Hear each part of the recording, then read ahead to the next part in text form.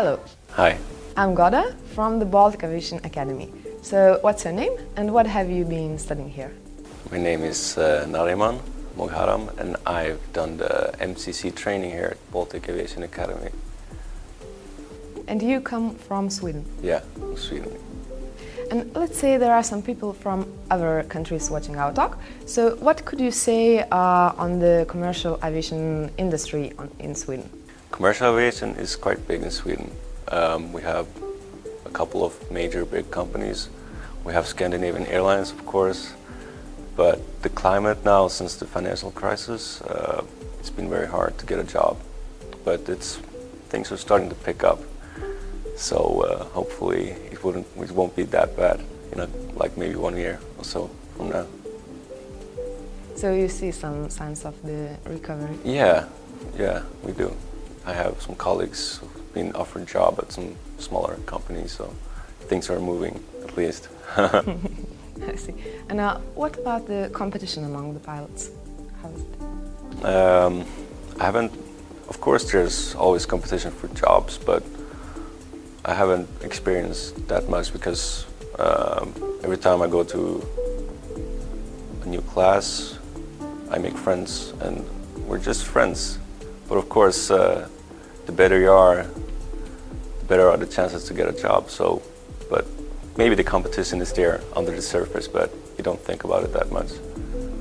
So, what do you think? What are the main qualities uh, needed for a good job in aviation? For a good job, uh, a good job for me would be uh, a job close by where I want to live, uh, a job where you can have a family, come home, not every day, but you know, to have some days off at home and uh, to have a, an okay salary. It doesn't have to be extreme money, but just so you can survive and live your life. That would be a good job for me. and what do you think? What your qualities should be to get that job? My qualities. Yeah, um,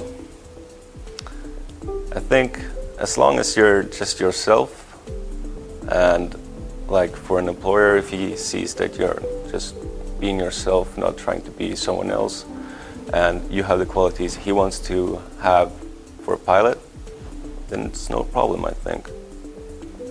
And what do you think are the main qualities uh, like for pilots? Pilots, I think uh, you should be calm. Try to be calm. Some people are calm in nature. Some people get stressed out in in odd situations. That is, of course, not a good thing. You need to keep your head cool in all kinds of situations, and you have to be um, able to communicate, be social, and uh, make, I say, just to be able to cooperate. Some people can't do it, and other people can. So. Okay, so tell me, how did you come uh, to Vilnius? How did you choose the Baltic Aviation Academy? Um, we were planning to to choose where we we're going to do our MCC, and we had a couple of alternatives. And then one friend, uh, Nicholas, who was here with me, he found the Baltic Aviation Academy on the internet, and uh, we saw that they had a type rating for a very good price at, at that time. So we thought, okay, the MCC has got to be cheap as well. So uh, we emailed, emailed with uh, Kricenas, and uh, he gave us a good price. So that's the main reason. yeah, okay, I see. So, well, if you come on price, then what about the experience? Uh, was it like the expected, or uh, or much more? And you know, um, it was better than what we've ex expected because uh, uh, Eastern Europe is, for me, it's I'm half Polish, so I know Eastern Europe, but for other people, for my colleague, for example, he was, oh my God, what if they rip us off? What if it's going to be all crap when we came come here? And I had no no high ex expectations, and I just expected to come here, get my certificate, and that's it. But it, it was much more than that. It was super, very good. Everything was perfect. And what I wonder, uh, what we did recently, uh, is uh, provided an upgrade of the visual system, mm-hmm. like completely upgraded it. Yeah. Uh, what about the Boeing 737 simulator? Uh, can you feel like those upgrades and the whole quality in general? Yeah, I what I've heard from the instructor, the, the visual system now is much better than it was before, but I I haven't seen the previous one. No, but this is unbelievable. It's so real, almost too real, but it's really nice. What more is uh, we also like want to have some feedback on the people working here and so on. So my question would be, uh, how was your work? How was your experience with the instructor? Our instructor, Donat, we had Donatas. Uh, is like the best instructor you can imagine. He was always keeping his cool and like if he didn't understand anything, he would just, okay, guys, look, it's like this, and he, he would try to explain. It was he was it was perfect. Everything was so good. So.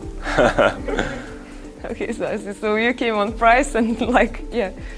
Yeah, but I mean, we didn't know anything about any yeah, instructors yeah, yeah, before, but surely if every instructor is like Donatas, it's better than any place. Uh, well, so one more thing, a little bit more on you. How did you decide to become a pilot? When was it? Like, it's almost like every boy's dream to become a pilot. So when I was little, I wanted to be a pilot. Um, but then when I was around 14 or something, I, I started playing music a lot. So uh, during my gymnasium, I studied music and music technology. So that was my main focus. But after a couple of years, I realized, okay, this is really funny. Music is really part of me, but do I really want to work as a musician? To have like, in my free time, I want to play music, but do I really want to work as a musician? And it's really hard to work as a musician as also everything is so unstable. One month you have like tons of gigs, the other months you have nothing. It's, so uh, it's quite unstable. So I thought, all right, let's try I will just try to take my private license, and if I enjoy it, I will continue, and I, I liked it. So now I'm here. Great. And uh, like, can we make some music with the aircraft buttons? yeah, yeah, it is possible. it would be possible, yeah. okay, I see. Well, uh, if your dreams could come true, how would you imagine your professional career in, let's say, five years? Five years? Yeah. What would, would, be, what would you like uh, I would like to have a job, first of all, and a job which I like, flying an airplane. The airplane, I mean, it doesn't matter as long as you have a job, but of course there's some favorite aircraft that you want to fly. So I, five years, I want to be flying the 737 NG and have like 4,000 hours on it. would be your advice? Like uh, you, you've done some courses already. What would be your advice for the beginners, from people at the zero level? Okay, my advice to people, often when I meet people who say, "Oh, I want to be a pilot," the first mistake people always do is uh, they have they have a picture of what a pilot is, what he does, and how much money he makes, and how good a life he lives. But the old people have tendencies to watch the old picture like the 60s to 70s when pilots were gods and now it's not quite like that. It's hard to get a job. Everybody thinks oh it's so easy i got a job and i will make tons of money. It's, that's not the truth. And uh, with with different schools there's in sweden there's a lot of different aviation schools. And like if you type in on google uh, flight school sweden you will get listed the most commercial schools, of course, first, and the ones are really, really expensive. I mean, 880,000 euros or something. It's a lot of money, and people with this misconception that pilot makes a lot of money. Okay, I will invest 80,000 in my future, and then afterwards they won't get a job, or not that easy that they would think they would get a job. So my tip is always like, try to take a private pilot license at a local flying club because it's the cheapest. If you like it, you could continue. and try always to look for the cheapest alternatives. Of course, you should be uh, informed of the place before you pay something because maybe it's just shit. But really, there's a lot of cheap ways to become a pilot. You don't have to pay 80,000 euros for it. So, like, my last question is Did you like Lithuanian beer? Yeah. Every country should have its beer, and Lithuania has good beer. Really.